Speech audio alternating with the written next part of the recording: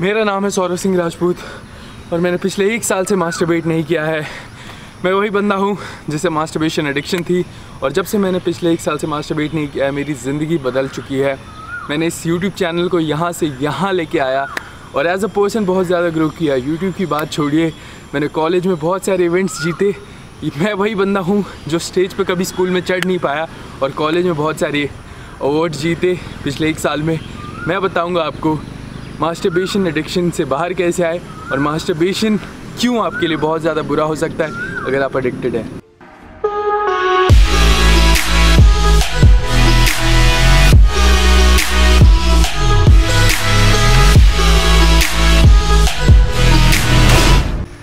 Hello मेरी family कैसे हो आप लोग? बहुत बहुत शुक्रिया आपके सपोर्ट आपके प्यार के लिए। आपने मास्टरबेशन पे मेरे भी बहुत सारे वीडियोस देखे होंगे और आपने बहुत सारे यूट्यूब वीडियोस देखे होंगे बट वहाँ पे हम मसल बिल्डिंग की बात करते हैं बॉडी बनाने की बात करते हैं। आज हम बॉडी और मसल्स के बारे में बात नहीं करेंगे, हम यहाँ की बात करेंगे। क्योंकि अगर आदमी यहाँ से सही होता है ना, ये अगर मेरा कम भी हो ना तो मैं इंसान अच्छा रहूँगा। तो इसकी बात नहीं, इसकी बात होगी और इसकी बात नहीं होगी। मसल बिल्डिंग में मैं हमेशा बोलता हूँ मास्टरबेशन का कोई रोल नहीं है, ज़्यादा इफ़ेक्ट नहीं करता है। अगर आप एक लिमिटेड एस्पेक्ट में करते हैं बट आज हम बात करने वाले हैं मेंटल एस्पेक्ट की क्योंकि मैंने जो चूज़ किया मास्टरबेशन को छोड़ना वो इसके लिए था क्योंकि मेरा ये स्पॉइल हो रहा था मेरा दिमाग स्पॉइल हो रहा था। सबसे पहला जो चेंज मैं आपको बताऊँगा बहुत सारे लोग मेरे से रिलेट करेंगे वो होता है आ, दूसरे जेंडर की रेस्पेक्ट करना दूसरे जेंडर की इज़्ज़त करना। आप वो नज़रिया बदलता है आपका। जैसे आप लड़कियों की, औरतों की बहुत ज़्यादा इज़्ज़त करते हैं अगर आप मास्टरबेशन और पॉन एडिक्शन में नहीं हो।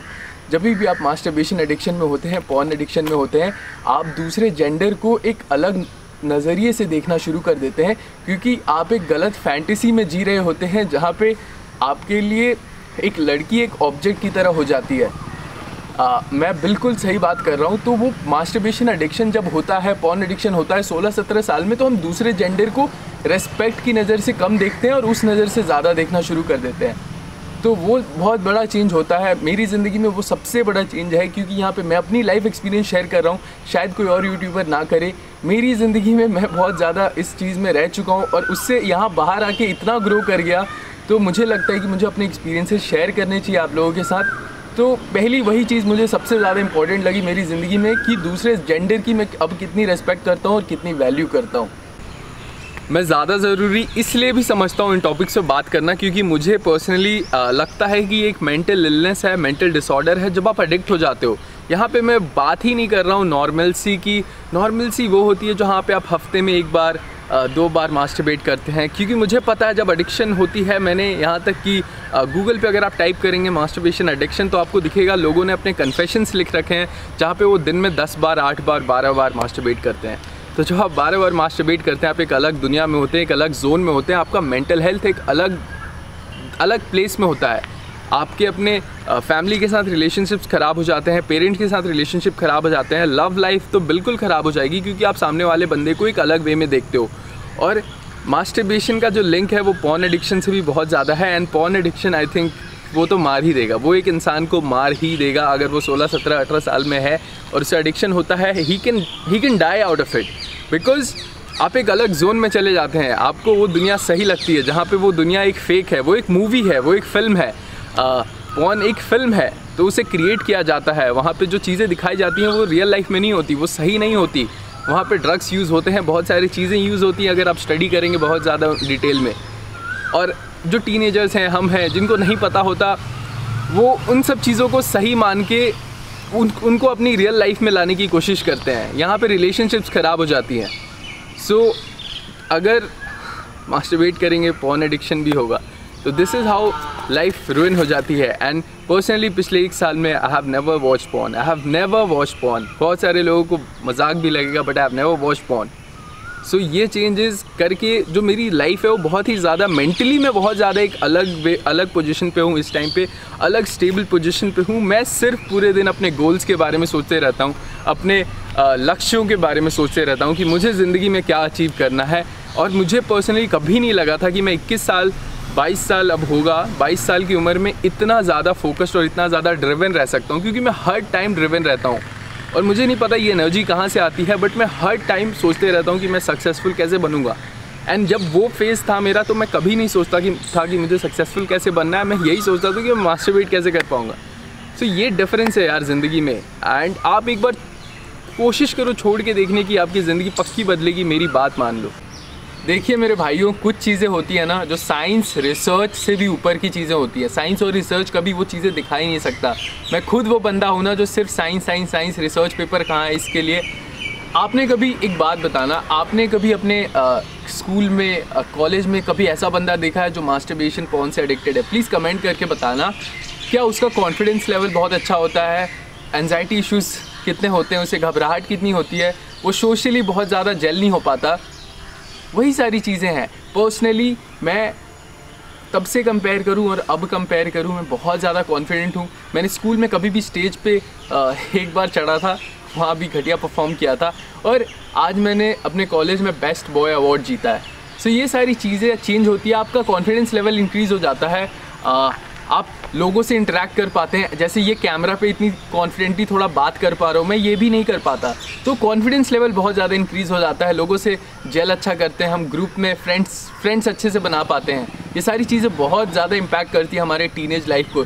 सत्रह अठारह साल की उम्र में मेरे ज़्यादा कई दोस्त नहीं थे उतने एंड मैं उतना जेल नहीं हो पाता था। ये सारी चीज़ें मुझे आज भी खटकती हैं कहीं ना कहीं। तो ये सारी चीज़ें बहुत इंपॉर्टेंट है अपनी लाइफ में घबराहट नहीं होना कॉन्फिडेंस होना खासकर टीनेज में ये ये एज में कि सक्सेसफुल होना है ज़िंदगी में। एंड अब बात करूँगा कि मैंने कैसे छोड़ा क्या क्या चीज़ें मैंने अपनी लाइफ में की दो तीन चीज़ें जिससे मैं छोड़ पाया इसे। हो सकता है सबके लिए डिफरेंट हो बट मेरे लिए ये सारी चीज़ें काम कर गई। आ, आ,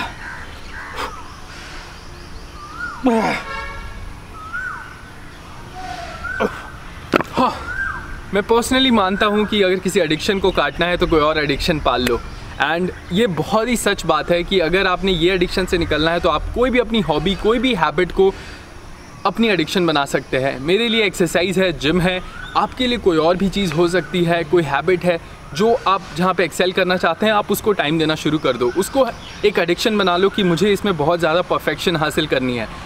एक्सरसाइज बहुत ज़्यादा हेल्प करेगी आपको। एक्सरसाइज से आपका माइंड जो है बहुत ही पॉजिटिव डायरेक्शन में चैनलाइज होता है। आप बहुत अच्छे अच्छे लोगों से मिलते हैं। बहुत ज़्यादा ग्रो होते हैं। बहुत जल्दी बहुत ज़्यादा ग्रो होते हैं। बहुत लोगों को लगता है कि जिम जाने से सिर्फ़ मसल्स बनती है बड़े बड़े बाइसेप्स बड़े बड़े लेग्स बनते हैं। बट यहाँ से भी हम बहुत ज़्यादा ग्रो होते हैं जिम करने से एक्सरसाइज करने से। एक्सरसाइज आप किसी भी फॉर्म में कर सकते हैं यार। जिम जाने की ज़रूरत नहीं है। अगर आपको जिम पसंद नहीं है साइकिलिंग हो गई स्विमिंग हो गई रनिंग हो गई मुझे पर्सनली जिम के बराबर रनिंग भी पसंद है। तो आपको कोई भी फॉर्म ऑफ़ एक्सरसाइज कर सकते हैं।